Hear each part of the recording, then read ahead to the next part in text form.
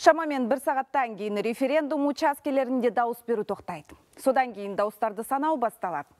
Әзірге учаскелерде дауыс беру жалғасып жатыр. Астанадағы 352-ші референдум учаскесінің бірінен әріптесім Серік Жұмабек тікелей эфирге қосылып тұр. Серік, сіз тұрған учаскеге тіркелгендер дауыс беріп болды ма?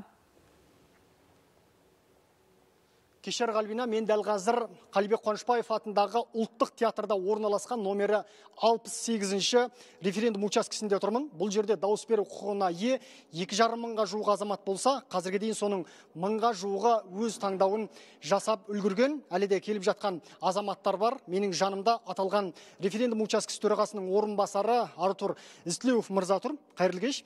Ә, артур мырза жалпы дауыс беру басталғалы 12 сағат уақыт өтті ғой. Осы уақыт аралығында халықтың белсенділігі қалай болды? Және ә, заң бұзғандар құқық бұзғандар болды ма? Белсенділігі жалпы жаман емес. Таңертең жетіде ә, қазақстанның әнұранымен басталды. Осы жерде үш участок орналасқан. Оның біреуі жетпіс жеті біреуі алпыс тоғыз біреуі алпыс сегізі біздің участок. Жалпы халықтың келгені түске дейін келді. Оның ішінде енді біздің 18-ге жаңа толған жасөспірімдер келді ең бірінші соған қуандық біздер. Одан кейін егде тартқан қарияларымыз апайларымыз келіп өздерінің белсенділіктерін танытты. А құқық бұзу бойынша заң бұзу бойынша дауыс беруге қатысты ондай дүние тіркелмеді ма ондай байқалмады бізде. Өзінің деңгейінде өтіп жатыр.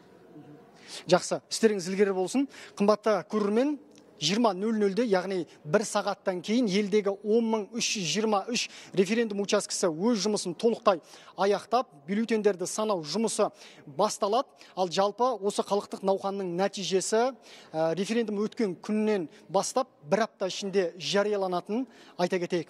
Альбина? Рахмет серік.